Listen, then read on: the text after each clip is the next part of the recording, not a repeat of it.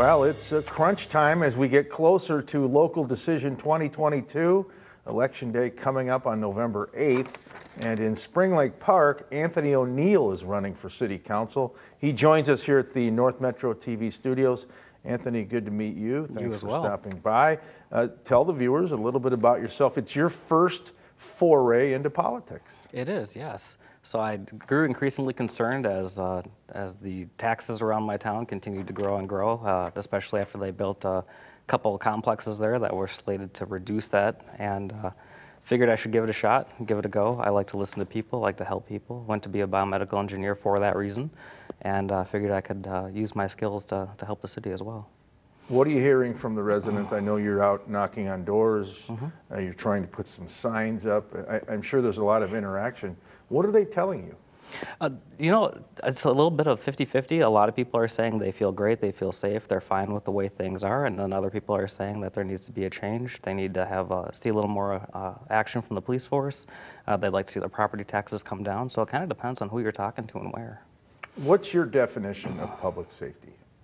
Public safety, people should be able to feel comfortable to play out in their yards, leave their garage doors open, not worry about someone walking up in there and trying to rummage through their stuff. Do you feel like Spring Lake Park is a safe place to live right now?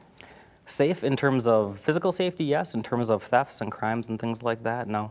Uh, just the other day across the street, somebody walked into somebody's garage. Uh, they opened the door, scolded them, and they ran off. Uh, you see constantly on the Ring Neighbors app that people are showing up in the middle of the night, jiggling doorknobs, things like that. So I think we need to crack down on that a little bit here. Yeah, and I know you're a staunch supporter of the uh, police department. Uh, what, what will you do to be an ally of Spring Lake Park PD? I'm not exactly sure at the moment, but uh, definitely talk with them, see what their takes on things are, see if there's anything that the city can do to help support them in terms of finances or maybe public support, maybe outreach programs, something where we can get people to meet the police officers and feel a little more comfortable with them.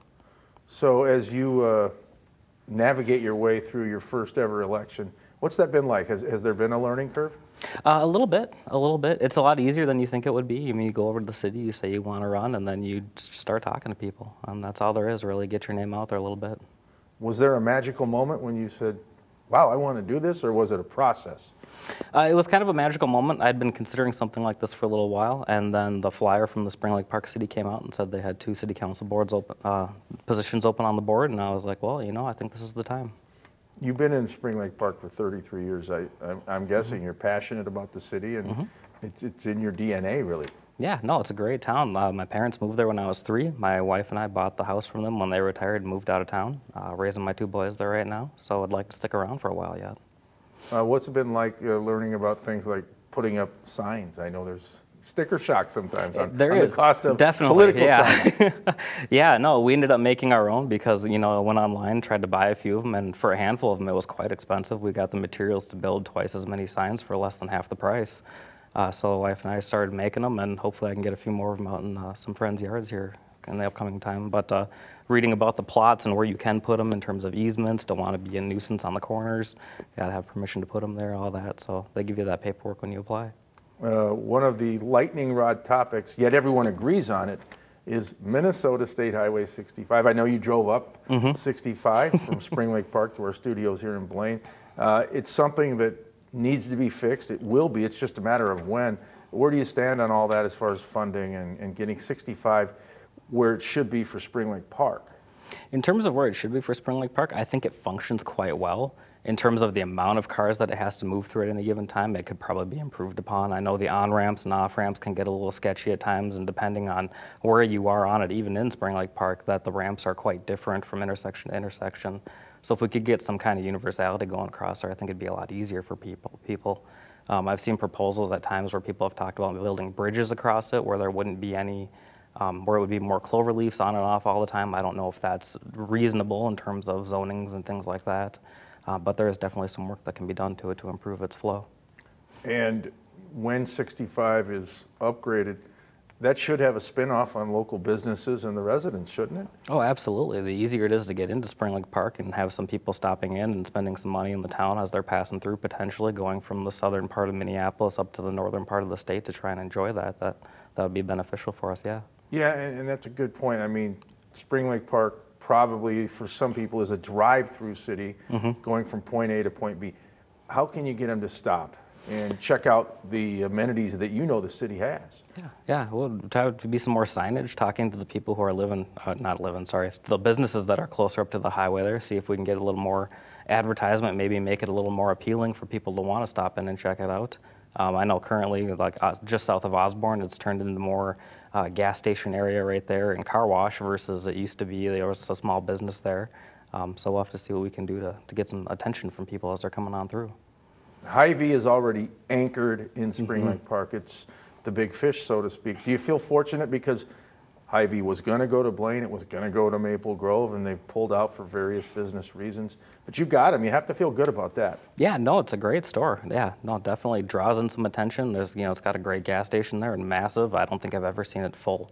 Um, and then the, the store itself has some great amenities to it. It's got Wahlburgers in it there. It's got a nice restaurant. It's got the deli, uh, the liquor store attached to it. I mean, it, it's a one-stop shop. Uh, smaller businesses luring in uh, other other companies or businesses. Do you are you in favor of that? Oh, absolutely. I mean, that's the, the way of the world in the U.S. here. I mean, for the, it's the free market, right? So, uh, yeah, definitely.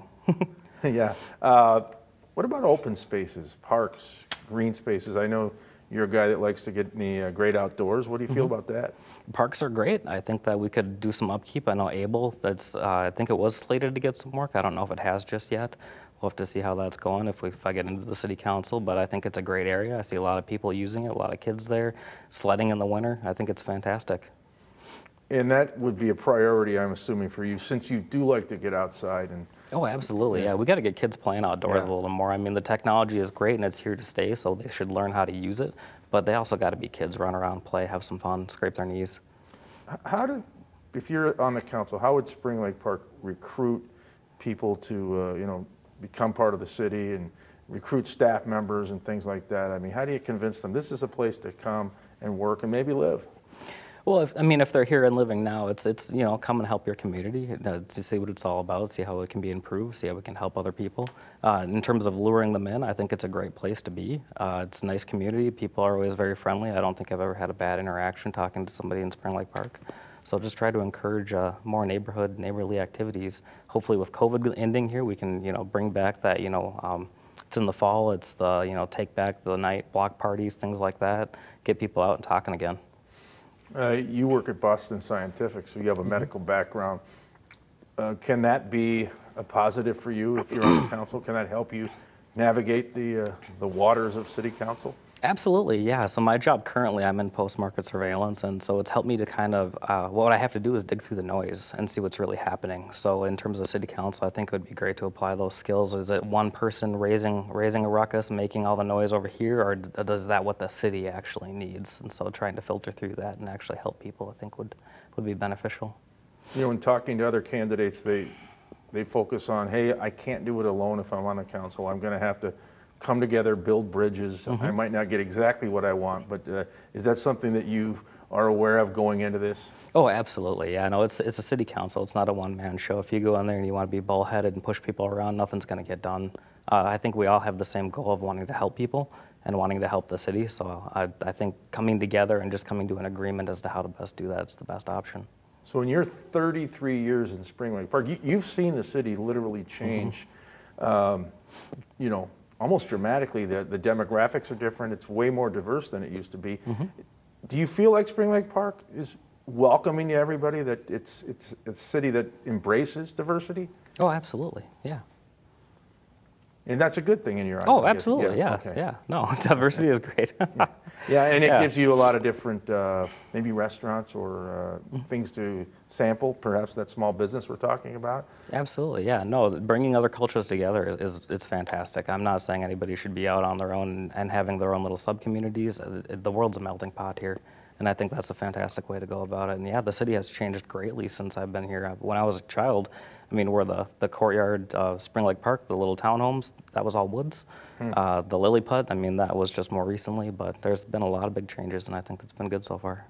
Uh, You want to focus also on keeping that budget in check and being fiscally uh, responsible, am I right about that? Oh, absolutely. Yeah. No, I'd like to see property taxes come down a little bit if possible. I know with one of the most recent condominiums they built, that was kind of slated as a large income for the city. They were going to be able to curb property taxes, but they've gone up and up since then. So I'd kind of like to get in there. Um, use my auditor background and see if I can't audit the budget and see what's been going on for the past few years, see where we can cut some unnecessary costs.